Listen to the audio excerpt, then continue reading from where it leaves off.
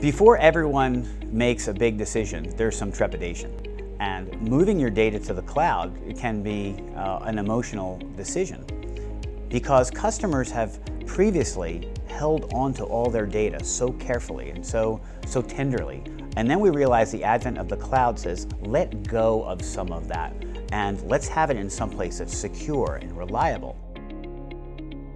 Hi, my name is Joe Cicchetti. I'm the channel chief at Zadara Cloud Services. Zadara is a cloud services company that offers options to how customers use and store their data. We have a global network of managed service providers in 300 locations, 73 regions, and 18 countries, rapidly growing to 1,000.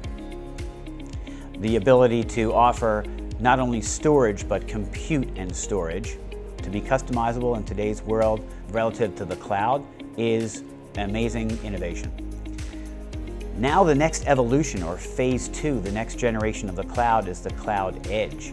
And that brings the cloud right to you at your house, at your fingertips, at your workplace, with combinations of uh, on-premises as a service, and then tapping into this global network of, of hundreds or thousands of cloud locations. So customers are able to do their work, they're able to do it with high performance and efficiency. And that is really what Zadara brings to the community at large.